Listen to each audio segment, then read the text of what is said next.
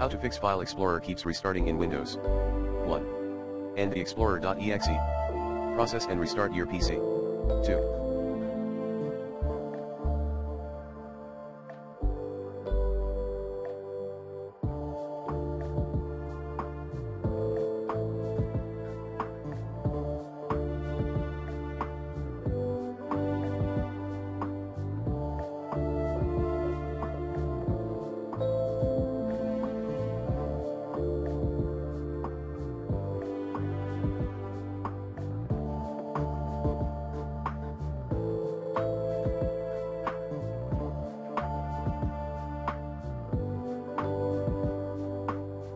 Turn on always show icons, never thumbnails option and, disable thumbnails in folder options.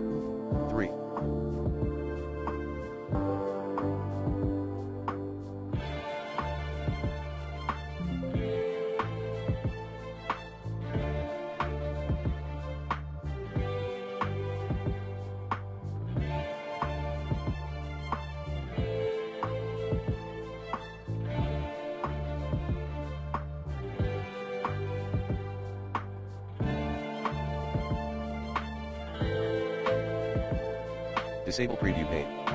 4.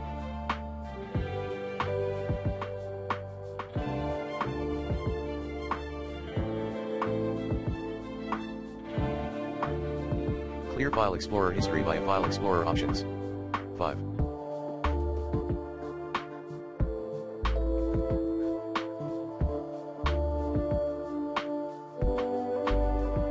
Disable suspicious third-party shell extensions with ShellExView. 6.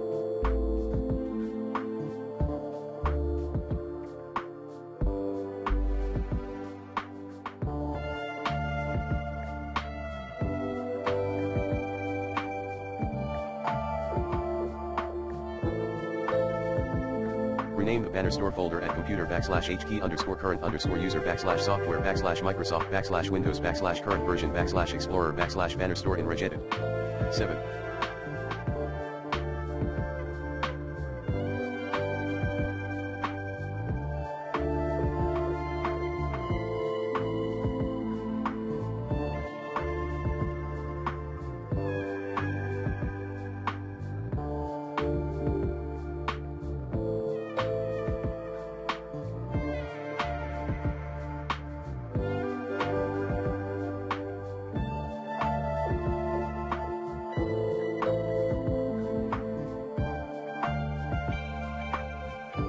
Perform SFC scan.